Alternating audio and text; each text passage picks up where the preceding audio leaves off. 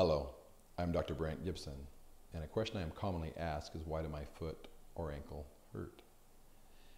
Now, remember first, foot pain is not normal. Although there are many common causes and common reasons why you may have foot pain, every single one of them has a treatment option or has things that you could do to alleviate the pain. Now, the foot is a very complex structure consisting of 28 bones, 33 joints, 107 uh, ligaments, 19 muscles and tendons, and an intricate web of nerves and blood vessels. Now, because of this complexity, there are many different causes of foot pain or ankle pain. Now, some common causes. Infection can cause pain.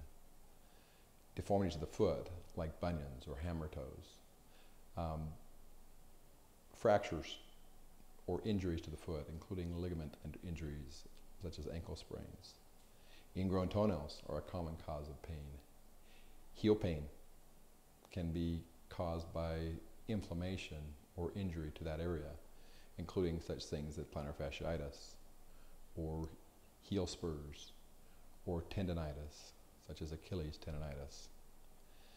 Uh, vascular disease can also cause pain, such as peripheral vascular disease or poor circulation to the feet. Diabetes,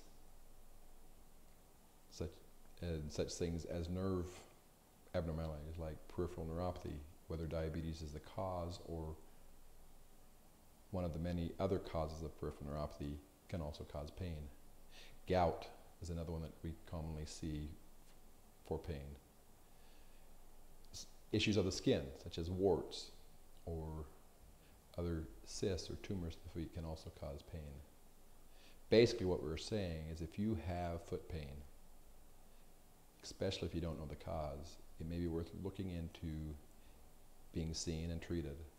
Most of the time we can give you options and give you treatments that will allow you to get back to your normal activities in a short period of time. Thank you.